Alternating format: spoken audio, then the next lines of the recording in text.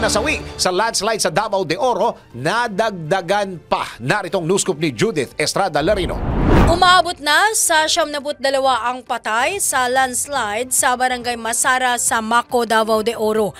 Batay sa pinakauling datos ng Municipal Disaster Risk Reduction and Management Office ng Mako, nasa 36 na katao pa ang nawawala sa nasabing insidente.